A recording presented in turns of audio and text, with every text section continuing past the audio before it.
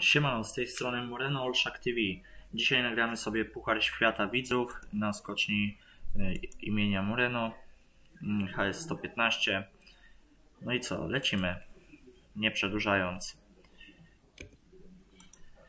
Pierwszy zawodnik na liście startowej to Adrian Benedyk. Zobaczymy jak sobie poradzi. No wybicie było dobre, ale potem od razu po wybiciu sylwetka w locie była naprawdę słaba. I drugi zawodnik na liście startowej to oczywiście Kowal z Rosji. Po nim spodziewamy się długiego skoku.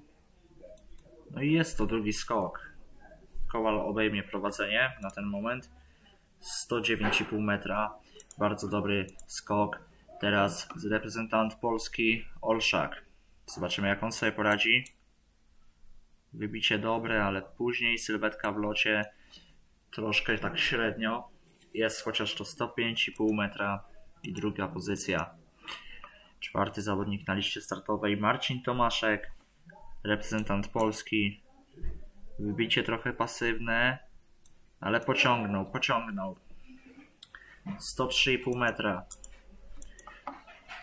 Teraz reprezentant Słowenii Glinek. Jak on sobie poradzi? No, wybicie dobre.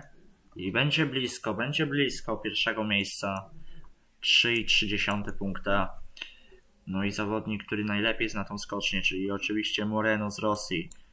Powinien tu jak najdalej skoczyć. Ale zobaczymy, w jakiej jest teraz formie. No w średniej. Skacze tylko 104 metry i jest na piątej pozycji na ten moment. Teraz reprezentant Nowej Zelandii Bombelino. Będzie blisko pierwszego miejsca. Też brakuje tylko 0,7 punkta do pierwszego miejsca. Ósmy zawodnik Polak, oczywiście Jakub Demkowski.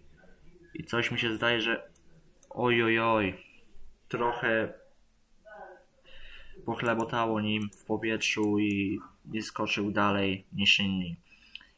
I ostatni zawodnik pierwszej serii Maciej Gruszczyński. No, on na treningach skakał bardzo dobrze i teraz też to pokazuje, ale traci jedną dziesiątą do Kowala z Rosji. Rozpoczynamy drugą serię konkursu.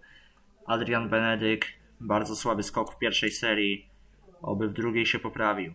No i tak będzie. 108,5 metra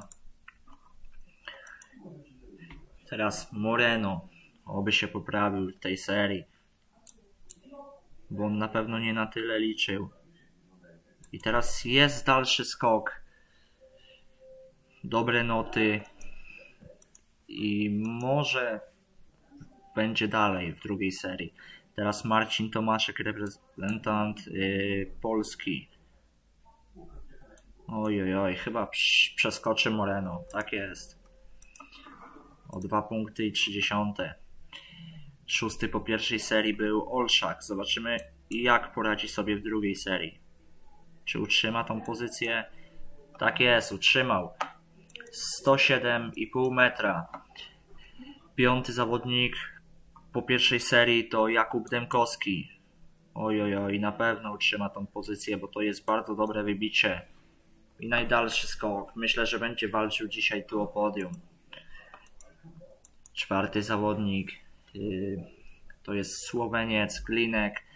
Musiałby naprawdę daleko skoczyć, żeby przeskoczyć Jakuba Demkowskiego. No jest bardzo dobry skok, ale nie przeskoczy go. Traci do niego 2,8 punkta. I ostatnia trójka konkursu. Bombel z Nowej Zelandii. Jak on sobie poradzi? No jest idealne wybicie, wręcz Piękny skok, bardzo, bardzo ładnie, bardzo ładnie. Mm. Teraz drugi po pierwszej serii. Maciej Kruszczyński, czy utrzyma tą pozycję? Możliwym, że tak. Ajajajajaj, upadek. Dopiero siódme miejsce. A, je, a był to najdalszy skok konkursu. Szkoda bardzo. I najlepszy po pierwszej serii Kowal, reprezentant Rosji. No i może nie będzie pierwszy. I spadł też z podium. Szkoda. No i tak wygląda mm, klasyfikacja po no, wyniki tego konkursu. Ostatni Adrian Benedyk, ósmy Maciej Gruszczyński, siódmy, no naprawdę zaskoczenie, Moreno, szósty Marcin Tomaszek, piąty Olszak, czwarty Kowal i podium. Zaczniemy od pierwszego miejsca. Pierwsze miejsce zajął Bombel z Nowej Zelandii, drugie Jakub Demkowski, reprezentant Polski i trzecie Glinek ze Słowenii. I co? To chyba na tyle. Mm, Życzę miłego oglądania. Zapraszam na następne filmiki. Zapraszam do subskrybowania kanału, do lajkowania filmików i do, i do zostawienia dzwoneczka. Trzymajcie się. Na razie.